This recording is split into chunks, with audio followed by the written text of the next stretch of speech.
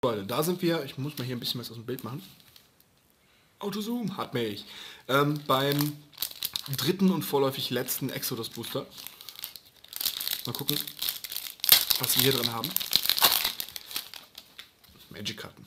Ähm, wir haben Mage Ilvec. Für 3 Mana, 2-2 und ihr könnt eine Random-Karte abwerfen und könnt einer Kreatur am Spieler einen Damage zufügen. Ihr habt Shackles für 3 Mana, ähm, könnt ihr eine Kreatur verzaubern und die Kreatur enttappt nicht während des Attack-Segments und ihr könnt die für ein weißes Mana-Zug auf die Hand nehmen. Ist gar nicht mal so schlecht. Für eine Common, klar. Thrull Surgeon.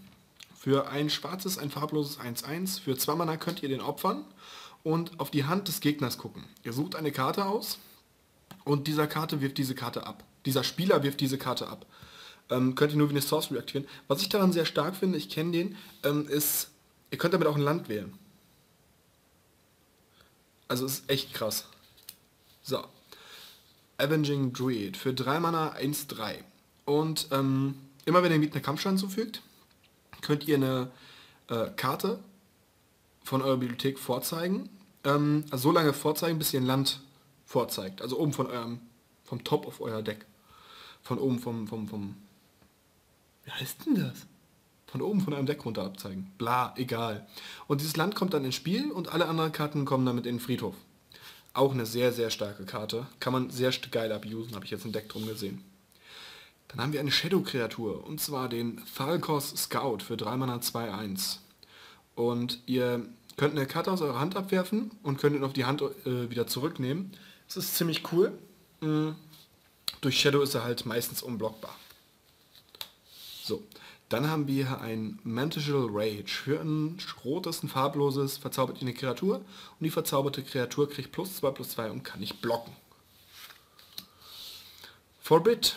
Für zwei blaue, ein farbloses ist es ein Spontanzauber, mit dem ihr einen Zauber-Counter könnt. Counter Target Spell. Und ihr könnt zwei zusätzliche Karten abwerfen und den buybacken. Das bedeutet, er geht nicht auf den Friedhof, sondern geht direkt auf die Hand zurück. Dann haben wir hier einen Treasure Hunter für 3 Mana 2-2 und wenn er ins Spiel kommt, könnt ihr ein Artefakt aus seinem Friedhof wieder auf die Hand nehmen. Das ist einfach sich nicht schlecht. Also für die damalige Zeit nicht schlecht. Mock Assassine für 3 Mana 2-1. Komischer Goblin. Ihr tappt den, werft eine Münze und wenn ihr den Münzwurf gewinnt, zerstört ihr eine Kreatur, die den Gegner kontrolliert. Ansonsten zerstört ihr eine Kreatur, äh, die der Gegner sich aussuchen darf. Das kann übelst backfeuern. Und wir haben Pitspawn. Das ist ganz cool, davon haben wir nämlich einen, jetzt haben wir den zweiten davon. Für 7 Mana 6-4 Erstschlag. Ihr müsst zum Beginn eures Versorgungsmoments zwei schwarze bezahlen, ansonsten wird er geopfert. Und immer wenn der eine Kreatur Kampfschaden zufügt, wird die Kreatur aus dem Spiel entfernt. Das ist besonders stark eben durch das Erstschlag, weil damit nehmt ihr jegliche Arten von Kreaturen erstmal raus. Ist einfach 1 gegen 1 gewinnt er gegen jede Kreatur. Der kann einmal cool fertig machen, wenn, äh, ihr, damit, wenn der Gegner damit einmal cool also blocken würde. Wäre aber dämlich für ihn. Dann haben wir Ethertide für ein blaues und X.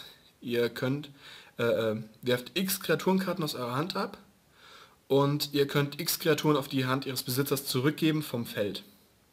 Ist jetzt nicht so die Imba-Karte, wenn ihr mich fragt. Dann haben wir Funerace Brood für ein rotes und drei Mana, also für vier Mana insgesamt, 3-3. Und für ein rotes kann eine Kreatur in diesem Zug nicht regeneriert werden. Das ist echt stark, weil es halt das Regenerieren verbietet. So, dann haben wir Charging Paladin, 3 Mana, 2-2. Wenn er angreift, kriegt er plus 0 plus 3. Stabil. Und Death's Duet. Oh, ist noch nicht unsere letzte Karte. Death's Duet, 3 Mana, Hexerei, ihr könnt bis zu zwei, also ihr müsst genau zwei Kreaturen aus eurem Friedhof zurück auf die Hand nehmen. Ist stabil. Und Jackalope Herd für 4 Mana, 4, 5. Und immer wenn ihr einen Zauber spielt, bringt ihr die zurück auf eure Hand. Ähm, ist jetzt nicht der Imber-Booster. Für mich persönlich, ich finde den halt richtig cool, weil der ist richtig cool. Der ist richtig cool, vor allem jetzt einen zweiten zu haben. Das macht die Karte wieder ein bisschen spielbarer. Naja, wenn es euch gefallen hat, lasst eine positive Wertung da. Ansonsten würde ich sagen, sehen wir uns beim nächsten Mal. Bis dahin. Ciao, ciao.